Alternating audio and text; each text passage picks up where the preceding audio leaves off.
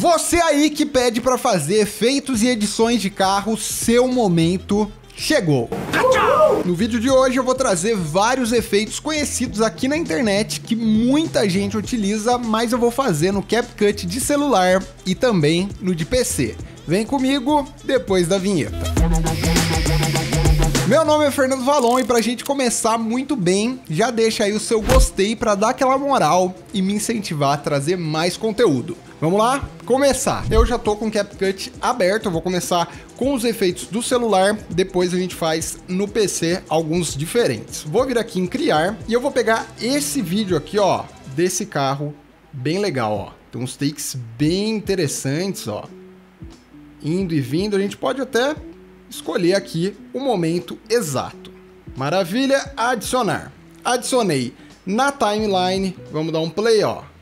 Ele vai indo bem perto, um close bem legal. Aqui já é o suficiente para a gente testar o nosso efeito. Vou vir aqui em dividir excluir o resto. Eu tenho só 7 segundos de vídeo que funciona muito bem para a gente. Esse efeito é muito conhecido, principalmente para fazer nos carros. As pessoas fazem nos, no, com pessoas também, né? Com seres humanos, porém, nos carros é o mais utilizado. Existe esse efeito aqui no CapCut Pro. A gente pode vir aqui ó, em efeitos de corpo ó, e a gente tem esse efeito ó, que é esse Apparate aqui ó.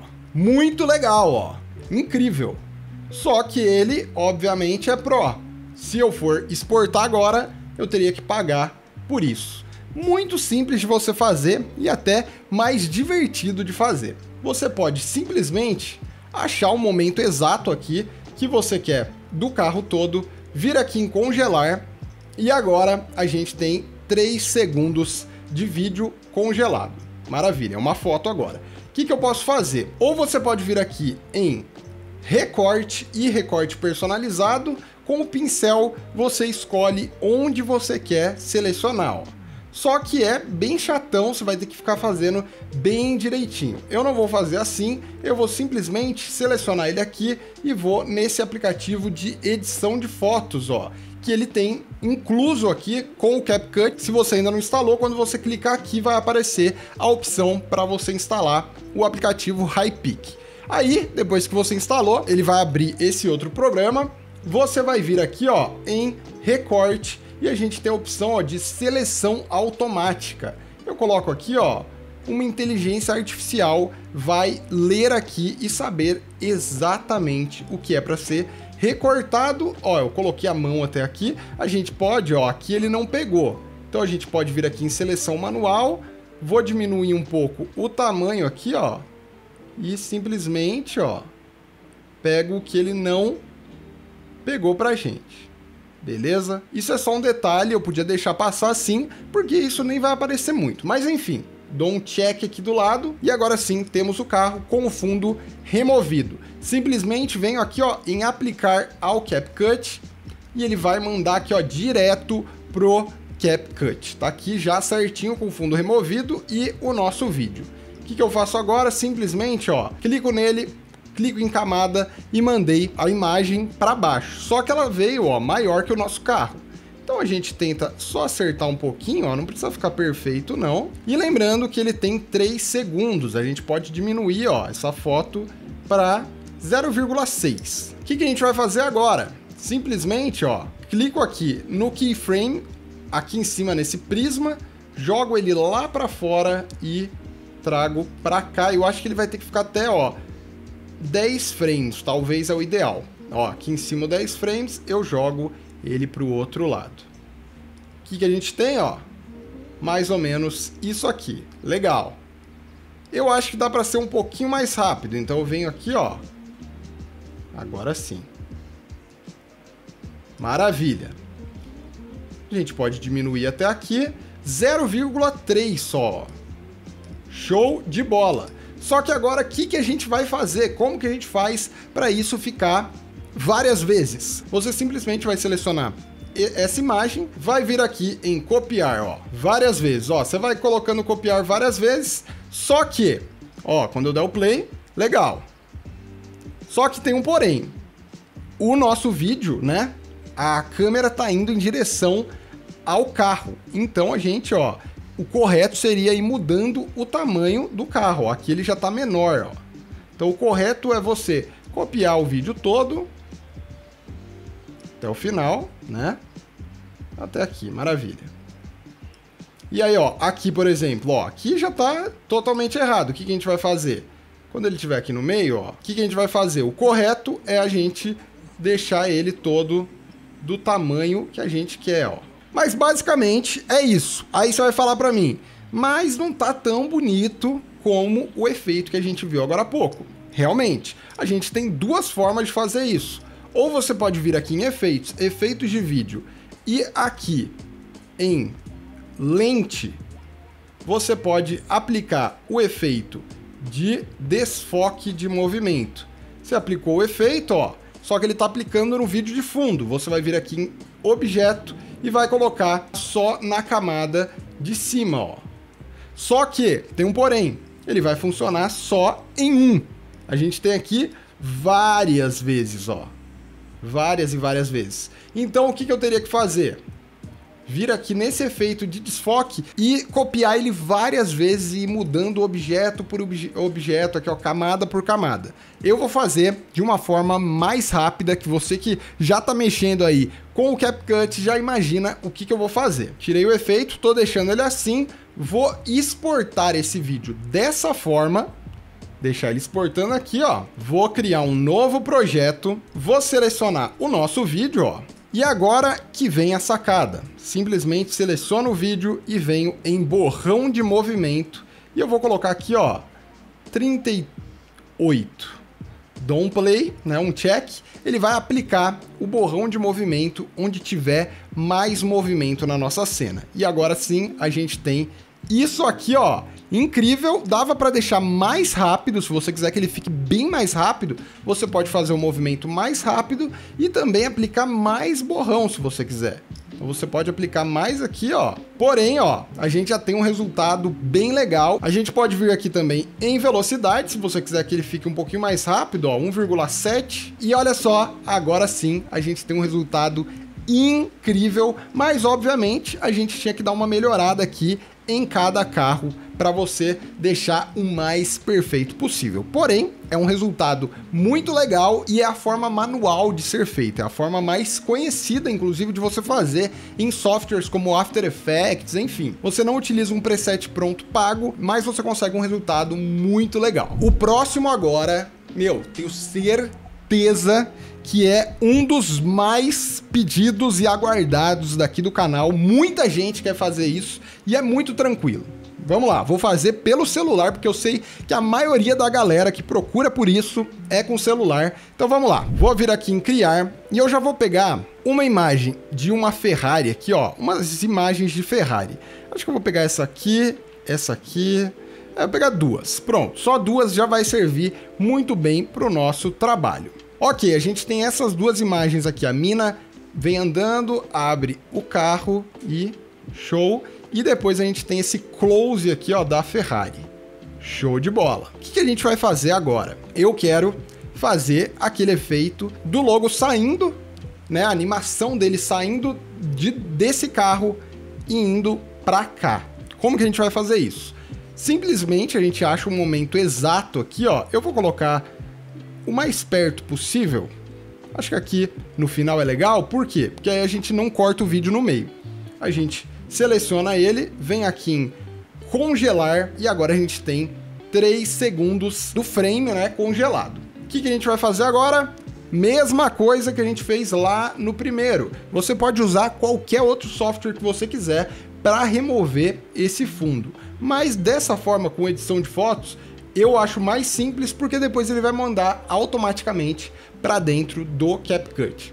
E também a gente tem a opção de você simplesmente vir em recorte e seleção automática, ele já vai entender o que é para cortar, ó. Maravilha, já está perfeito, aplica o CapCut e ele já está aqui recortado para gente. Agora eu vou vir aqui em camada, desci, né, ele para camada e agora eu vou colocar entre os dois, ó. Aqui o nosso logo já sumiu, então não é mais útil. Eu vou dividir aqui, ó, até aqui. Daqui e aqui.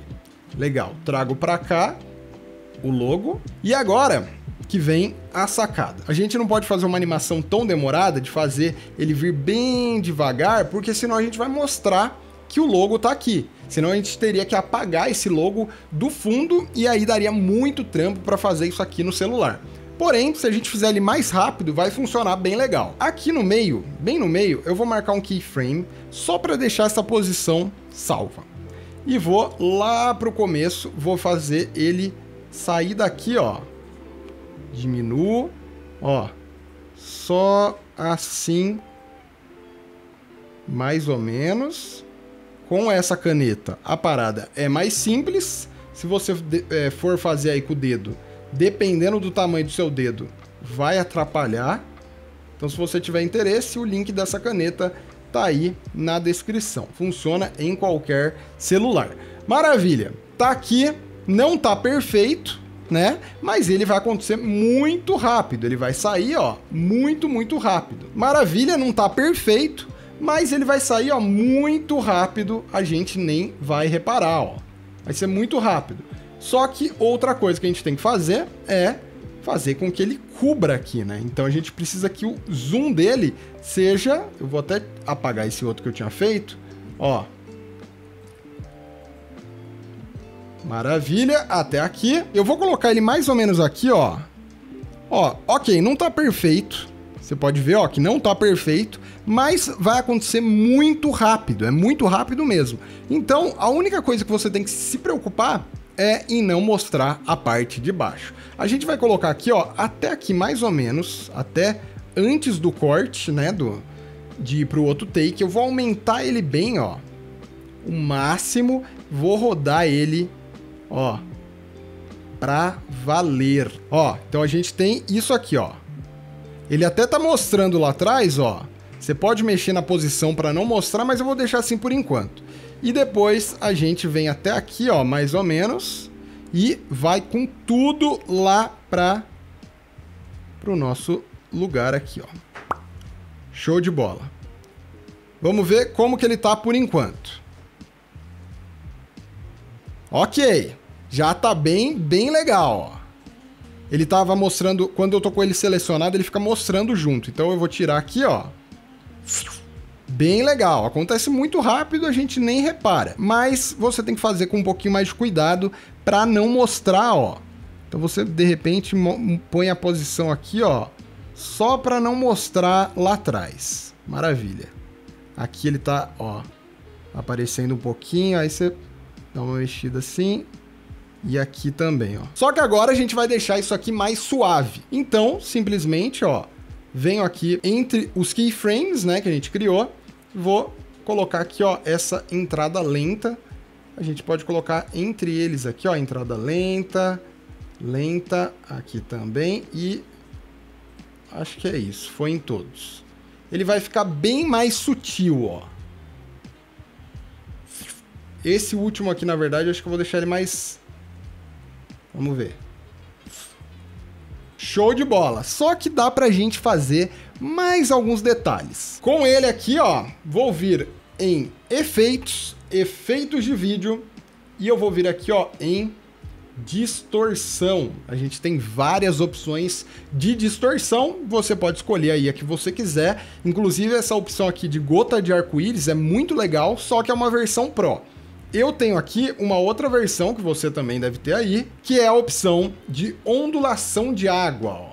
A gente vai colocar essa ondulação de água onde? Só aqui, ó, no momento que ele for bater, ó. Pra, na hora que ele bater, ele, der, ele vai dar esse efeitinho. A gente vai trazer só um pouquinho mais pra cá, ó. Porque tem que acontecer bem rápido. Vamos ver como que ele tá bem legal, bem legal mesmo, mas dá para fazer ele ficar diferente. A gente pode colocar uma velocidade um pouco mais rápida, ó. Agora sim, pode até começar um pouquinho depois. E agora sim, show de bola. E aí a gente pode também vir aqui em efeitos de vídeo. Eu posso de repente, ó, aplicar talvez um erro aqui, ó. Vamos aplicar um cromático Só que esse cromático ele vai acontecer só aqui no alto, ó.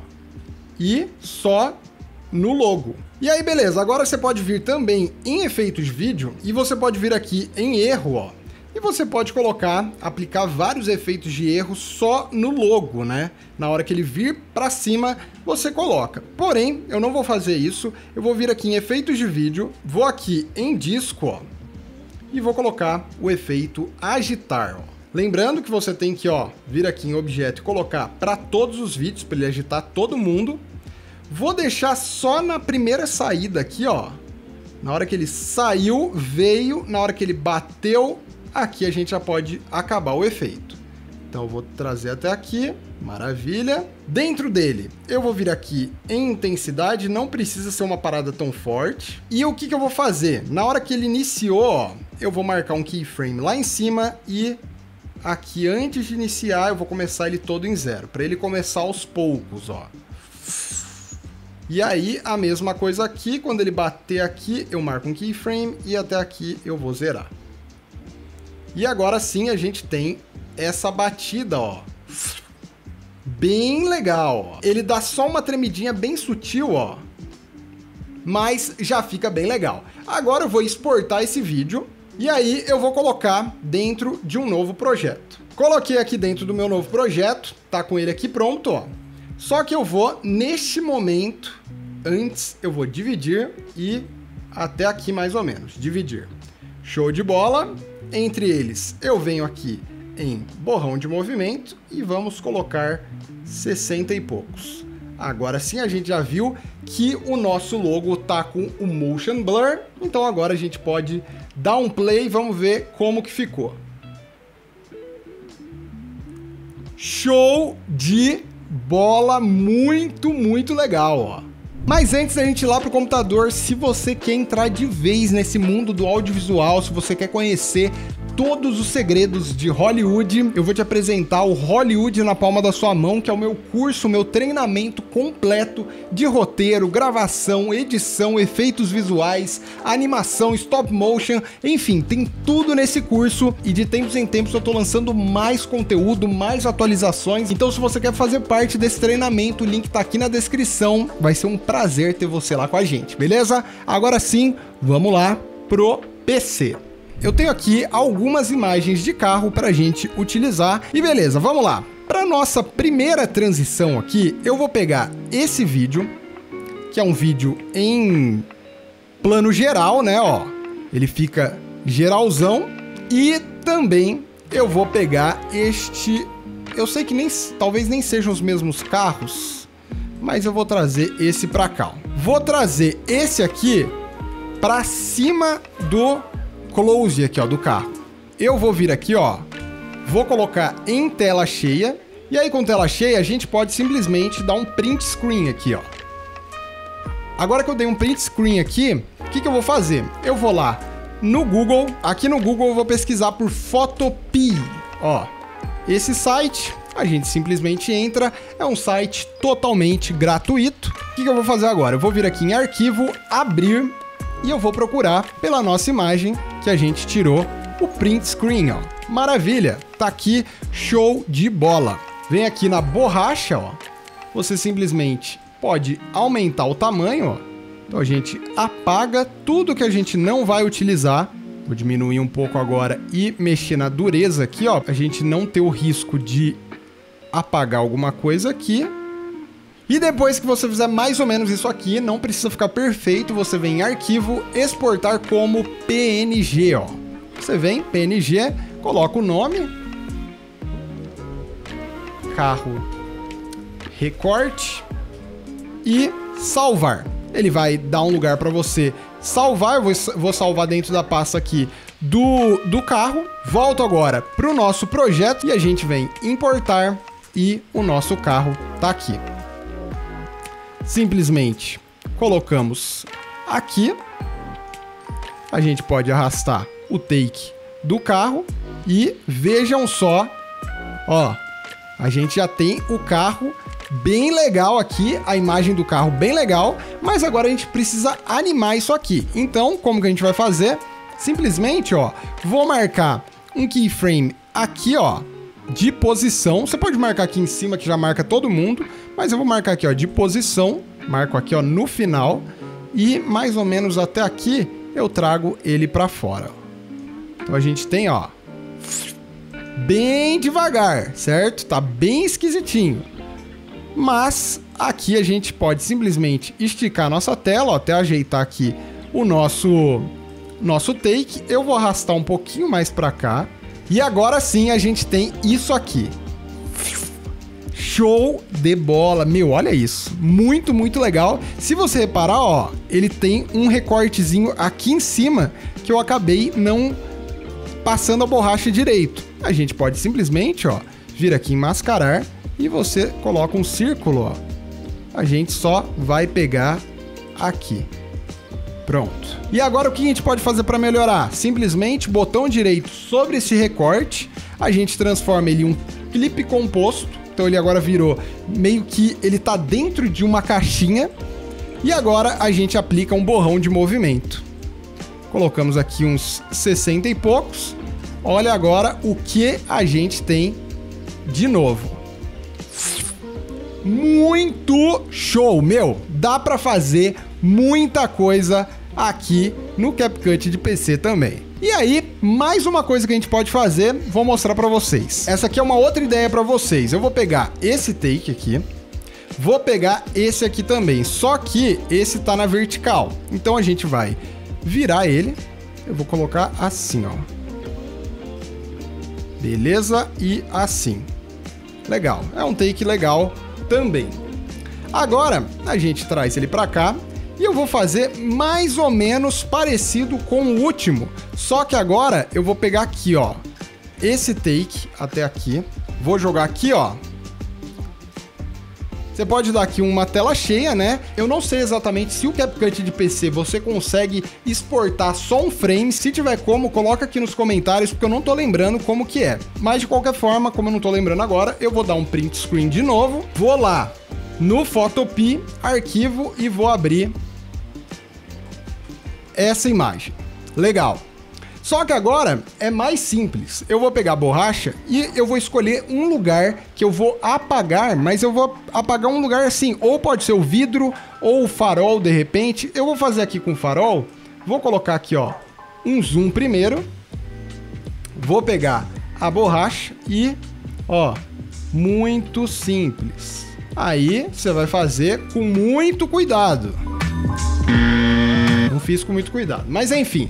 Ok, arquivo já tá pronto. É isso aqui, não tem muito problema. Volto para cá.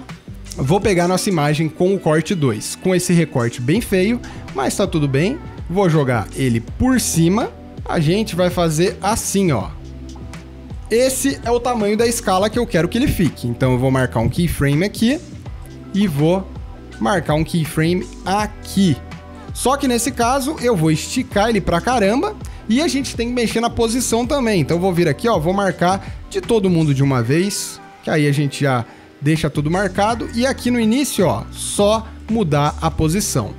Legal. Só que, tá vendo, ó, que ele só chega em 500? Na verdade, ele chega mais. É só a gente, ó, escrever aqui que ele vai mais, ó. Pode colocar 3 mil aqui. Maravilha, ó. Agora, ó, simplesmente temos esse efeito aqui, ó. Muito show de bola, ó. E aí, o que, que a gente pode fazer? Simplesmente criar um clipe composto, colocar o borrão de movimento, e aí a gente vai tirar esse defeito aqui, ó, que eu acabei não fazendo muito bem, ó. Muito show de bola. Gente, isso é só um pouquinho do que dá para fazer. Se você gostou desse tema, coloca aqui nos comentários que você curtiu, se você tem alguma sugestão e também eu vou te indicar, ó, esse vídeo e essa playlist para você assistir um pouquinho mais e aprender um pouco mais sobre edição de vídeo. Além disso, como eu falei, tem o curso Hollywood na palma da sua mão, que é incrível, a gente está trazendo muito conteúdo a cada semana. É isso e eu te encontro em breve.